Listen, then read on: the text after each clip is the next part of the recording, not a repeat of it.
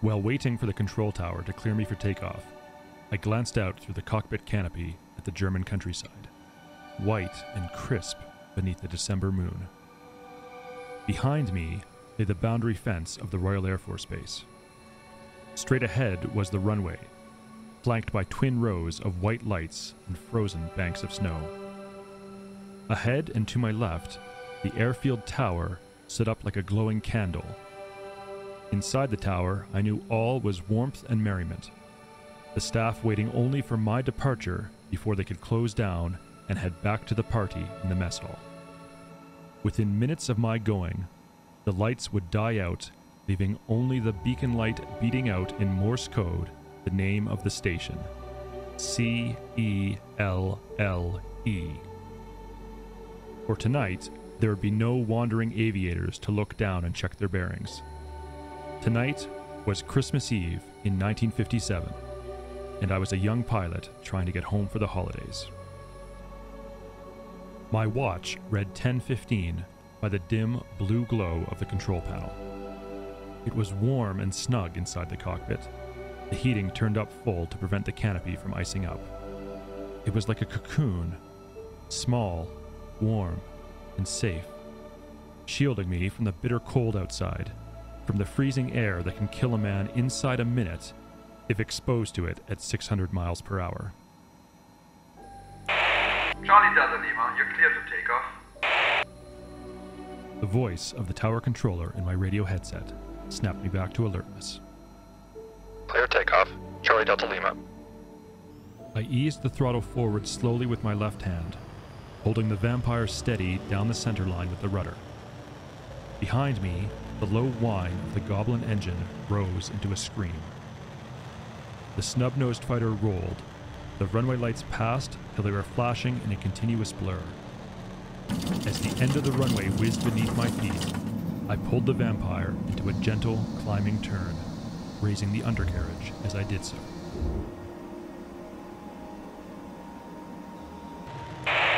Charlie Delta Lima, you're leaving my airspace. Change frequency to channel Bravo. Happy Christmas. Over to Bravo. Charlie Delta Lima. Happy Christmas. Strapped to my right thigh was the map with my course charted on it in blue ink. But I did not need it. I knew the details by heart turn overhead Celle Airfield onto course 265 degrees. Continue climbing to 27,000 feet. On reaching cruise altitude, maintain course and keep speed at 485 knots. Check in with Channel Bravo, the RAF's North German control frequency, to let them know you're in their airspace. Then, a straight run over the Dutch coast and the North Sea. After 44 minutes flying time, change to Channel Foxtrot and call Lakenheath Control to give you a steer. 14 minutes later, you will be overhead Lakenheath. After that, follow instructions and they'll bring you down on a radio guided descent. 66 minutes flying time with the descent and landing, and my Vampire had enough fuel for over 80 minutes in the air. From Lakenheath, I knew I could get a lift down to London after midnight. By breakfast time, I'd be in my parents' home in Kent, celebrating Christmas morning with my family. I watched the needle on my heading indicator settle on 265 degrees. The nose was pointing towards the black, freezing vault of the night sky, studded with stars so brilliant they flickered. Below, here and there, a village or small town glittered with lights. The carol singers would be out now, knocking on doors and singing Silent Night. 400 miles ahead of me in England, the story would be the same. It was good to be going home.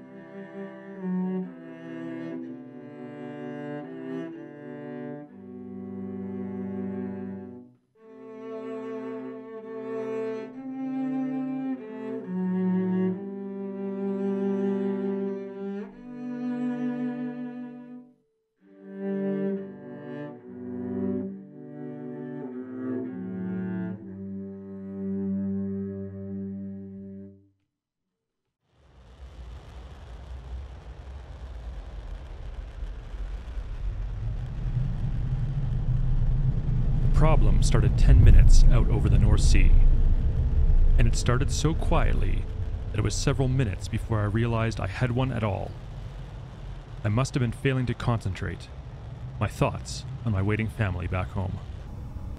The first warning I had was when I flicked a glance downward to check my course on the heading indicator. Instead of being rock steady on 265 degrees, the needle was drifting lazily round the clock. I swore a most unseasonal sentiment against the directional gyro and the ground technician who should have checked it. Still, it was not too serious. There was a backup compass, the magnetic kind. When I glanced at it, the needle was swinging widely too. Apparently, something had jarred the case, which isn't uncommon. In any event, I could call up Lakenheath in a few minutes and they'd give me a GCA, a ground controlled approach, the second by second instructions a well equipped airfield can give a pilot to bring him home in the worst of weathers. I glanced at my watch. 34 minutes airborne. Before trying Lakenheath, the correct procedure would be to inform Channel Bravo of my little problem so they could advise Lakenheath that I was on my way without a compass. I pressed the transmit button, but instead of the lively crackle of static and the sharp sound of my voice coming back into my ears, there was a muffled murmur inside my oxygen mask. My own voice speaking and going nowhere.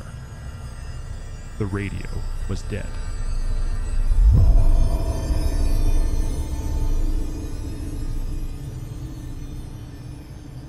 Fighting down the rising sense of panic that can kill a pilot faster than anything else, I swallowed and slowly counted to ten. Then I switched to channel Foxtrot and tried to raise Lakenheath. But the steady whistle of my own jet engine behind me was my only answer. It's a very lonely place, the sky. Even more so, the sky on a winter's night. And a single seat jet fighter is a lonely home indeed. But that loneliness is offset by the knowledge that at the touch of a button, the pilot can talk to other human beings who can locate his position to within a few hundred feet and hear his call for help. He's not lost anymore. People begin working to bring him down to the flare lit runway that means home and life itself. But for that, you must have a working radio. While I was vainly testing my radio channels, my eyes scanned the instrument panel in front of me. The instruments told their own message. It was no coincidence the heading indicator and the radio had failed together. Both worked off the aircraft's electrical circuits.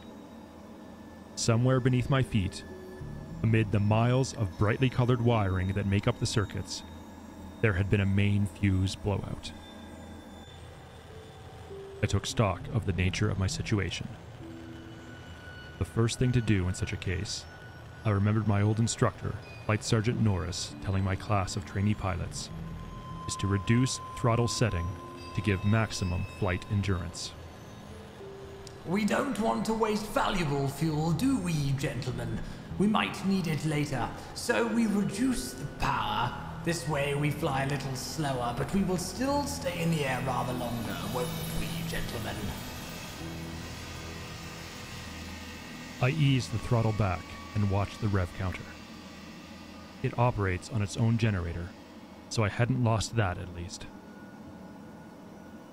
The main instruments in front of a pilot's eyes are six, including the heading indicator. The other five are the airspeed indicator, the altimeter, the vertical speed indicator, the attitude indicator, and the slip indicator. Two of these are electrically operated, and they had gone the same way as my directional gyro. That left me with the three pressure operated instruments the airspeed indicator, altimeter, and vertical speed indicator. I knew how fast I was going, how high I was, and if I were either climbing or diving. It is perfectly possible to land an airplane with only these three instruments, judging the rest by those old navigational aids, the human eyes. Perfectly possible, that is, in conditions of brilliant weather, by daylight, and with no clouds in the sky. At night, it is not possible. The only things that show up at night, even on a bright moonlit night, are the lights. These have patterns when seen from the sky. If I could identify the great curving bulge of the Norfolk coastline, I could find Norwich, the only major sprawl of lights set 20 miles inland from the coast. Five miles north of the city was the RAF airfield of Merriam St. George, whose red indicator beacon would be blipping out its Morse code identification signal into the night. There, if they only had the sense to switch on the airfield lights when they heard me screaming overhead, I could land safely.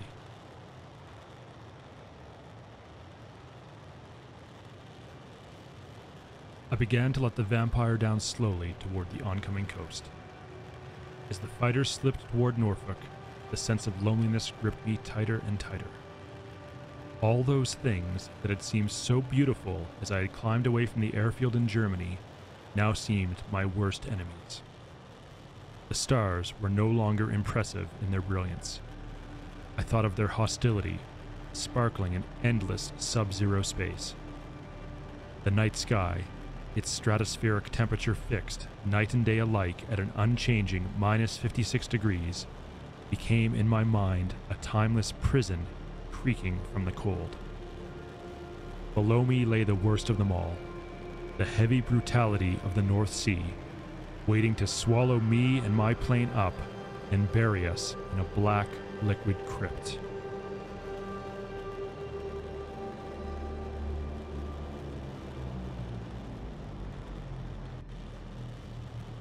At 15,000 feet and still diving, I began to realize that a new enemy had entered the field.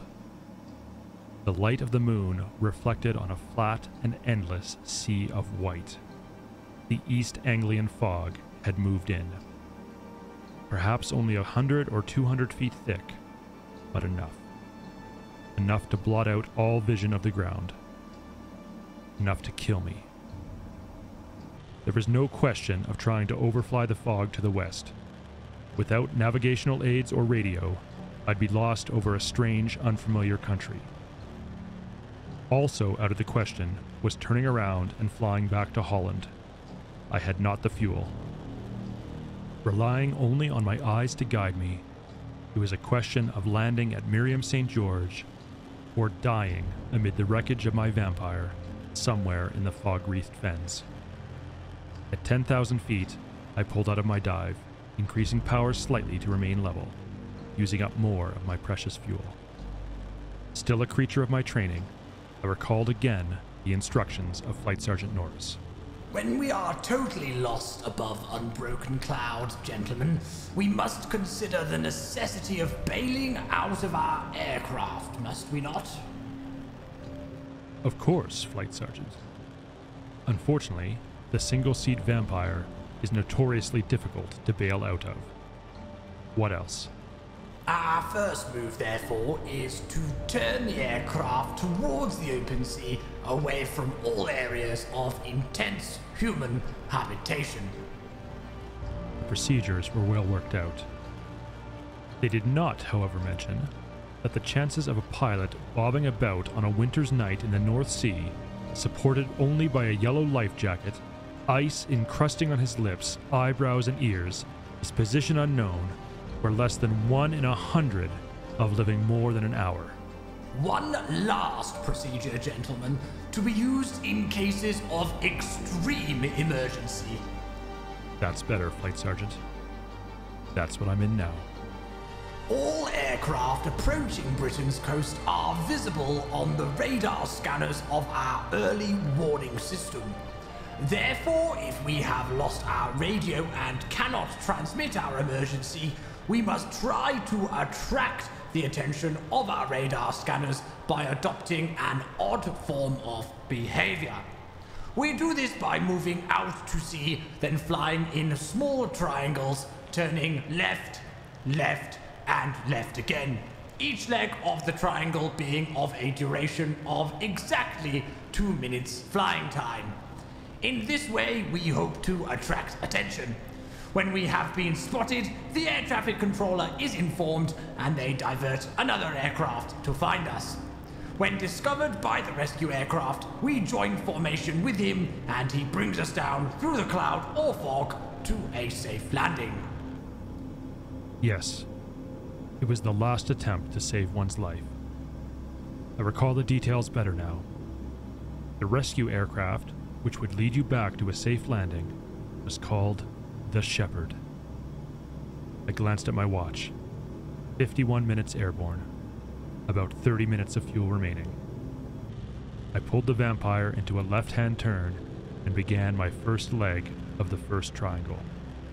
Below me, the fog reached back as far as I could see, and ahead towards Norfolk, it was the same.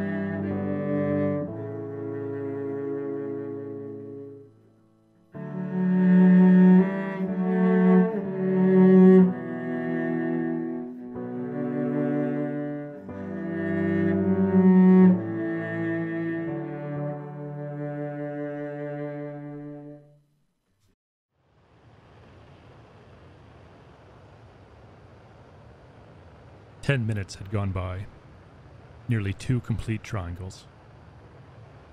And I had been airborne for 72 minutes. I knew no one would come. The fuel gauge read one eighth full. Ten minutes more flying time. I felt the rage of despair welling up. I began screaming into the dead microphone. You bastards! Why don't you look at your radar screens? Why can't somebody see me? Are you all so damn drunk you can't do your jobs properly? Then the anger subsided. I knew then that I was going to die that night. Strangely, I wasn't even afraid anymore. Just enormously sad. It's a bad thing to die at 20 years of age with so much of your life left unlived. And the worst thing is not the fact of dying, but the fact of all the things never done. I dropped the left wing of the Vampire toward the moon to bring the aircraft onto the final leg of the last triangle. Down below the wingtip, against the sheen of the fog bank, a black shadow crossed the whiteness. For a moment, I thought it was my own shadow, but it was another aircraft, low against the fog bank, keeping station with me through my turn, a thousand feet below. I kept the turning wing down to keep it in sight. The other aircraft also kept turning until the two of us had done one complete circle. He was flying slower than me. Only then did I realize why he did not climb to my height to take up station on my wingtip. I eased the throttle back and began to slip down towards him. He kept turning. So did I.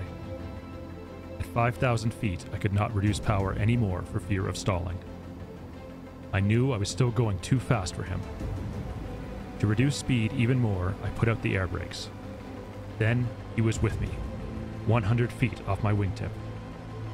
We straightened out together, rocking as we tried to keep formation. I could make out the shimmer of two propellers whirling through the sky ahead of him. Of course, he could not fly at my speed. I was in a jet fighter, he in a piston aircraft of an earlier generation. He held station alongside me for a few seconds, then banked gently to the left.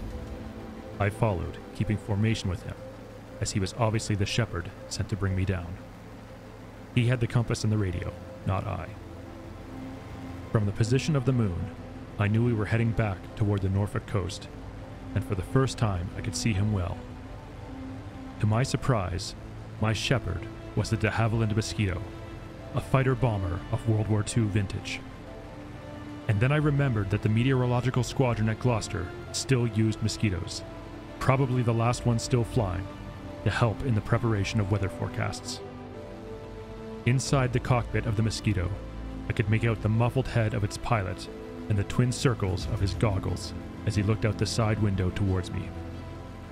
Carefully, he raised his right hand till I could see it in the window, fingers straight, palm downwards.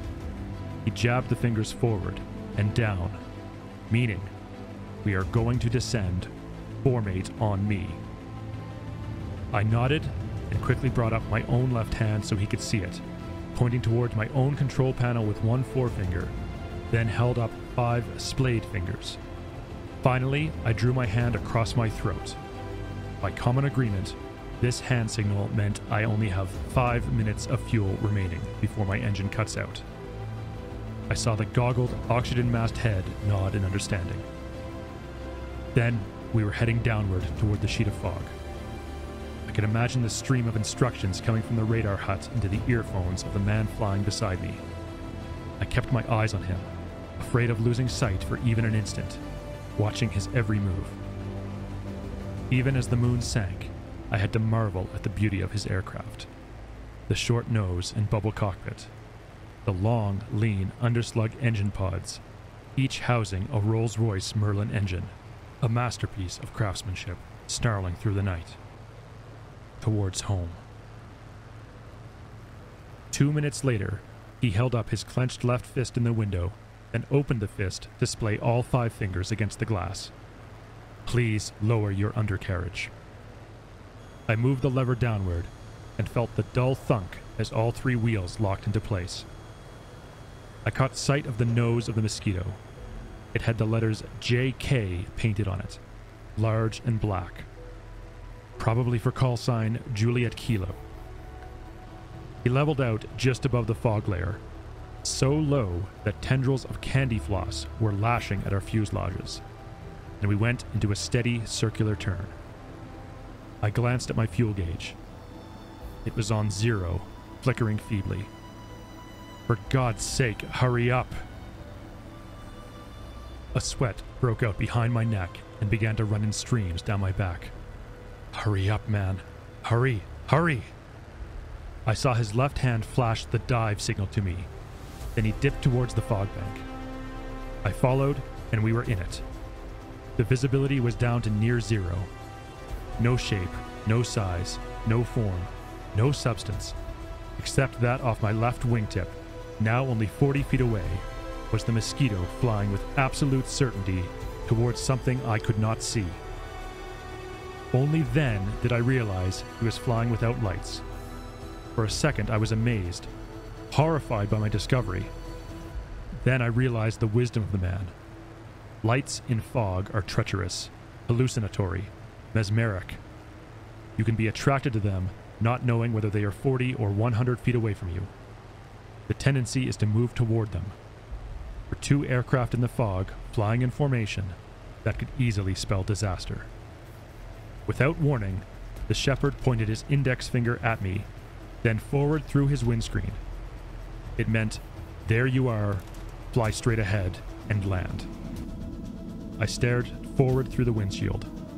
Nothing. Blackness.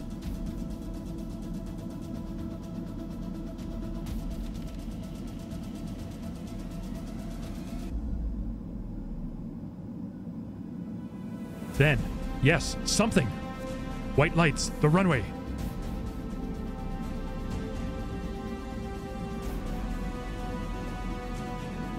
Frantically, I reduced the power and held her steady, praying for the vampire to settle.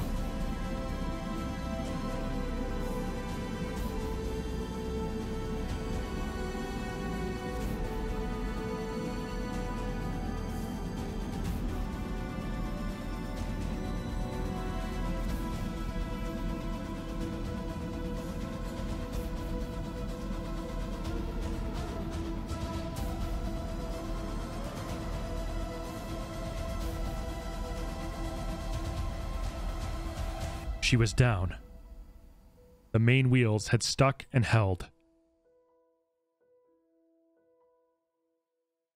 Both of my hands were clenched tightly with white knuckles around the control column. I forget now how many seconds I held my breath before I could believe I was still alive. There was no need to turn off the engine. It had finally run out of fuel as the vampire careened down the runway. I slowly began to unstrap myself from my seat and parachute. As I did so, a movement caught my eye. To my left, through the fog, no more than 50 feet off the deck, the mosquito roared past me. I caught the flash of the pilot's hand in the side window, and then he was gone up into the fog before he could see my answering wave of acknowledgement. I had already decided I would call up Gloucester to thank him personally. I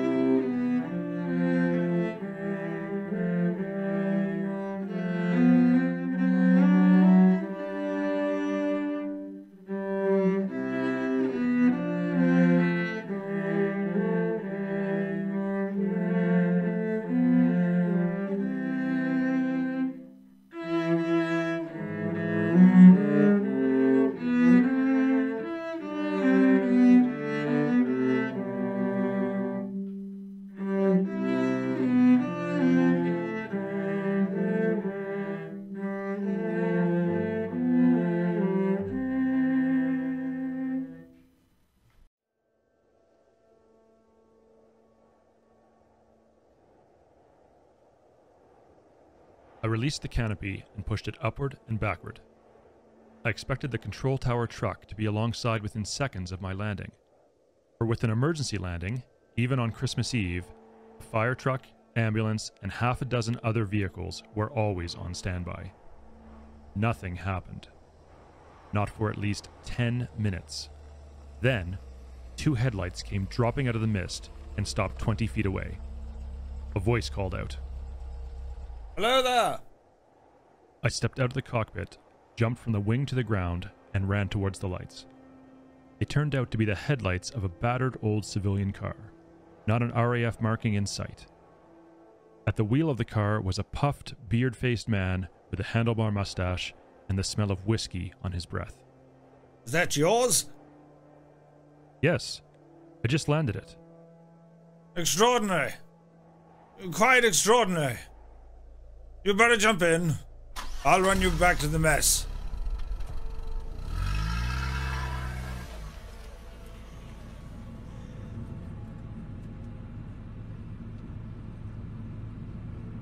I was grateful for the warmth of the car, even more so to be alive.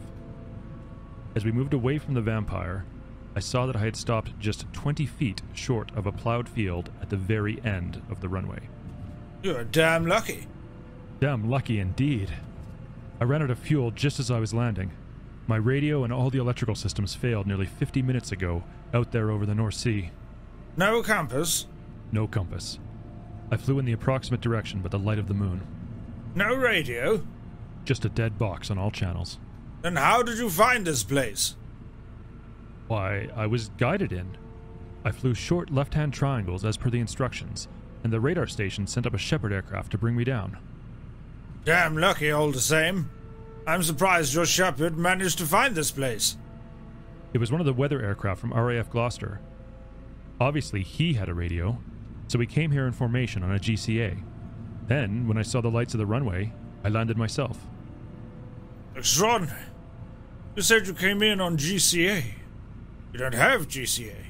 We don't have any navigation equipment at all, not even a beacon. Wait, this isn't RAF Merriam St. George? No. This is RAF Minton. Minton? I've never heard of it. I'm not surprised. We're not an operational airbase. Haven't been since the war. Minton's a storage depot now. He stopped the car and got out.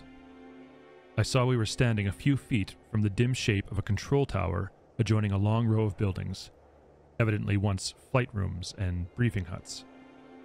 Above the door at the base of the control tower, through which the officer disappeared, hung a single flickering light bulb. I could make out broken windows and padlocked doors. The place had an air of abandonment and neglect.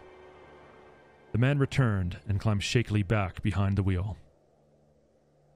Just turning the runway lights off. Why did you switch them on? Why, it was the sound of your engine. I was in the officer's mess having a nog, and old Joe suggested I listened out the window for a second. There you were, flying right above us. You sounded damn low, almost as if you wanted to come down in a hurry. Thought I might be of some use, remembering they never disconnected the old runway lights when they dismantled the station. So I ran down to the control tower and switched them on. I see. That's why I was so late coming to pick you up. I had to go back to the mess to get the car after I heard you land. Then I had to find you. Bloody foggy night. Where is RAF Minton exactly? Five miles from the coast. And where's the nearest operational RAF station with all the radio navigational aids, including ground controlled approach? Hmm. Must be Merriam St. George, I reckon. Mind you, I don't know much about all that. I'm just a stores Johnny. So that was the explanation. My shepherd in the weather plane had been leading me straight in from the coast to Merriam St. George. By chance, abandoned old storage depot Minton lay right along the flight path to Merriam's runway 10 miles ahead. Then this old fool had switched on his lights. Coming in on the last 10 mile stretch, I had plucked my vampire down at the wrong airfield. I was about to lecture the man about interfering with modern procedures that he couldn't possibly understand when I choked the words back. My fuel had run out halfway down the runway. I'd never have made it to Merriam 10 miles away. I'd have crashed in a field short of touchdown. We reached the officer's mess and went in. The place had seen better days. Only a few cracked leather club chairs occupied the room, which could have easily fit 50. My host, who told me his name was Flight Lieutenant Marks, shrugged off a sheepskin coat and threw it over a chair. I'm sorry it's not very hospitable, old boy. Not to worry, but I could do with a bath and a meal. I think we can manage that. I'll get Joe to fix up a spare room. God knows we have enough of them. He'll also cook up a meal. Bacon and eggs do? That'll do just fine. While I'm waiting, do you mind if I use your phone? Of course. He ushered me into the mess secretary's office. It was small and cold, but it had a chair, an empty desk, and a telephone. My watch told me it was close to midnight. Hell of a way to spend Christmas, I thought. Then I recalled how 30 minutes earlier I had been crying for help, and I felt ashamed. I picked up the phone and dialed the number for Merriam St. George.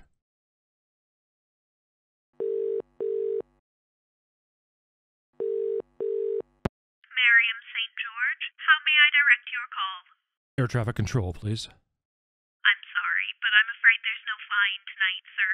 No one is working at air traffic control. Then give me the station duty officer, please. Right away, sir. When I got through to her, I explained about the emergency and that her station had been alerted to receive a vampire fighter coming in without radio on a ground controlled approach. She listened attentively. She was quite sober, as a station duty officer is supposed to be at all times, even on Christmas Eve.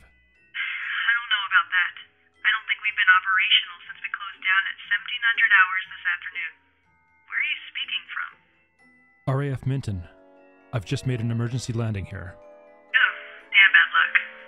Do you need us to send a car for you? No, it's not that. I don't mind being here.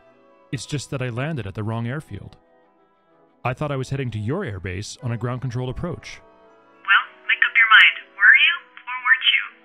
You ought to know. I was intercepted by the weather plane from Gloucester, and he guided me in. But in this fog, it must have been on a GCA. No other way to get down. When I saw the lights of Minton, I landed here assuming it was Merriam St. George. Splendid. Marvelous bit of flying from that pilot in Gloucester. Of course, those chaps are up in all kinds of weather. What do you want me to do about it? I'm ringing to alert you to stand down your radar and air traffic control crews. They must be waiting for a vampire that's never going to arrive. It already has arrived. Only here, at Minton.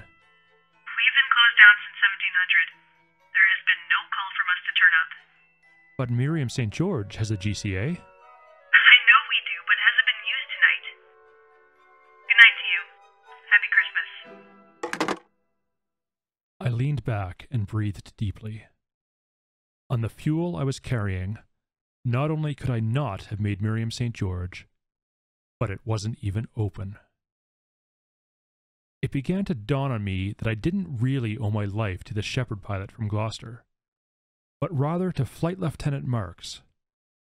Bumbling old drunk Flight Lieutenant Marks, who couldn't tell one end of an aircraft from the other, but had run 400 yards through the fog and snow to switch on the runway lights of an abandoned old airfield because he heard a jet engine circling overhead too close to the ground. Still, that mosquito must be back at Gloucester by now and he ought to know that despite everything, I was alive. I rang the operator.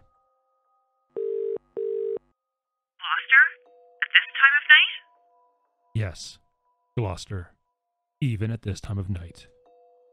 The duty meteorologist took the call, and I once again explained the situation. I'm afraid there must be some mistake, flying officer. It couldn't have been one of ours. Look, this is RAF Gloucester, right? Yes, it is. Right. And your unit flies mosquitoes. No. We used to fly mosquitoes, but they went out of service three months ago. Now we use Canberras. The mosquitoes were sent to museums, I think. Or scrapped, most likely. Could one of them have been sold privately? Hmm, I suppose it's possible. Uh, it would depend on air ministry policy, but I think they were scrapped. Thank you. Thank you very much. And happy Christmas. I put the phone down and shook my head in bewilderment. What a night. What an incredible night. First, I lose my radio and my heading indicator. Then I get lost and short of fuel. Then I'm taken in by some moonlighting harebrain with a passion for vintage aircraft, flying his privately owned Mosquito through the night, who happens to spot me, and finally, a half drunk ground duty officer has the sense to put his runway lights on in time to save me. Luck doesn't come in much bigger slices. But one thing was certain without that amateur air ace, my frozen corpse would be bobbing around in the North Sea right now. Your room is ready. Uh, number 17, just down the corridor. Joe's making up a fire for you now, and bad water is heating. If you don't mind, I think I'll turn in. Will you be all right on your own? Yes, I'll be fine. Many thanks for all your help. I wandered down the corridor. From the doorway of room 17, a bar of light shone into the passage.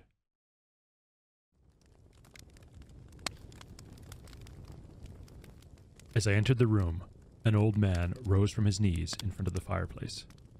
Good evening, sir. I'm Joe, sir, the mess steward. Yes, right, Joe.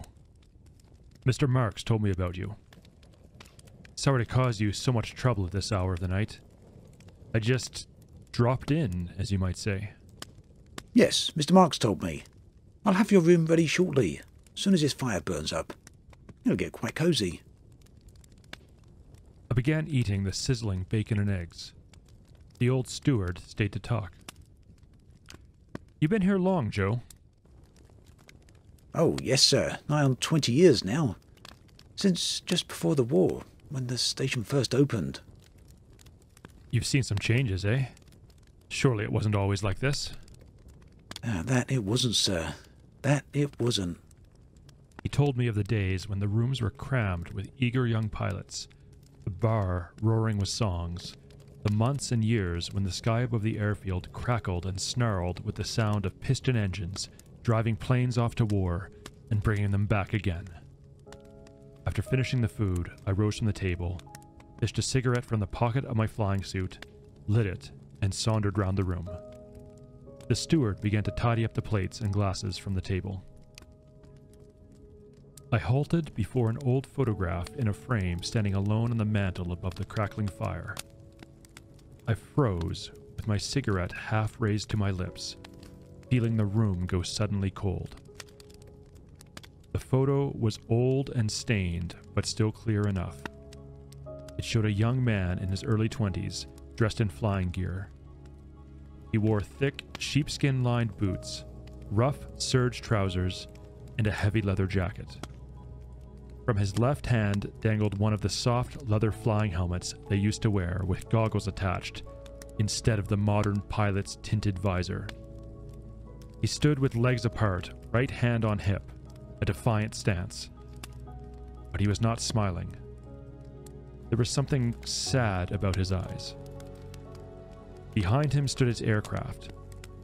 There was no mistaking the lean, sleek silhouette of the Mosquito fighter bomber. I was about to say something to Joe when I felt a gust of cold wind on my back. One of the windows had blown open and the icy air was rushing in. I'll close that, sir. No, no. I'll get it. It took me two strides to cross to where the window swung on its steel frame. To get a better hold, I stepped inside the curtain and stared out. Somewhere far away in the fog, I thought I heard the snarl of aircraft engines. But it was probably just a motorcycle of some farm boy taking leave of his sweetheart. I closed the window and turned back into the room. I nodded toward the lonely photograph on the mantel. Who's the pilot, Joe? The pilot, sir? Oh, that's a photo of Johnny Kavanagh. He was here during the war, sir. Kavanagh? Yes, sir, an Irish gentleman. A very fine man, if I may say so. As a matter of fact, sir, this was his room. What squadron was that, Joe? Pathfinders, sir. Mosquitoes they flew. Remarkable pilots, all of them. But I venture Mr. Johnny was the best of them all. But then again, I'm biased, sir. I was his orderly, you see. I studied the picture closely. There was no doubting it. The faint letters on the nose of the mosquito behind the figure in the photo read J.K. Not for call sign Juliet Kilo, but for Johnny Kavanagh. The whole thing came to me clear as day now. Kavanagh had been a crack pilot flying with one of the elite Pathfinder squadrons. After the war, he'd left the Air Force, made a pile of money, bought an old Mosquito in one of the periodic auctions of obsolescent aircraft, refitted it, and flew it privately whenever he wished. Not a bad way to indulge your passion for flying if you had the money. So he'd been on his way back from some trip to Europe, spotted me turning in triangles above the fog bank, realized I was lost, and took me in tow. Knowing this stretch of the coast by the back of his hand, he'd taken a chance on finding his old wartime airfield at Minton, even in the thick fog. It was a hell of a risk. I had no doubt I could trace the man, probably through the Royal Aero Club. He was certainly a good pilot. Oh, the very best, sir. They reckon he had eyes like a cat, did Mr. Johnny. I recall many a time his squadron would return from dropping flares on targets for heavy four-engine bombers. The rest of the young gentlemen would go into the bar for a drink, or more likely several drinks. But not my Johnny. He'd have his mosquito refueled and take off again to see if he could find some lone bomber making for the coast and guide it home. Of course, some of them would have taken lots of enemy fire and had their radios knocked out. That was a bit before your time, if you'll pardon my saying so, sir. I've seen pictures of them. And he used to guide them back. I could imagine them in my mind's eye Lancasters and Halifaxes, gaping holes in their bodies, wings and tails creaking and swaying as the pilots sought to hold them steady for home, a wounded or dying crew, and the radio shot to bits. I knew from too recent experience the bitter loneliness of the winter sky at night with no radio, no guide for home, and the fog blotting out the land. Quite a man, I said, and I meant it. Even today, years after the war, he was still a superb flyer. Oh, yes, sir. Quite a man, Mr. Johnny. He'd guide them home all right. Back here to Minton. Sometimes through fog so dense you couldn't see your own hand in front of your face. Sixth sense, they said he had. I remember him saying to me once, standing right there where you are now. Joe, he said, whenever there's one of them out there in the night, crippled and trying to get back, I'll go out and bring him home. Well, by the look of it, he's still doing it. Oh, I hardly think so, sir. Mr. Johnny went out on his last patrol on Christmas Eve, 1943, exactly 14 years ago tonight. He never came back. He went down with his plane somewhere out there in the North Sea. Good night, sir. And happy Christmas.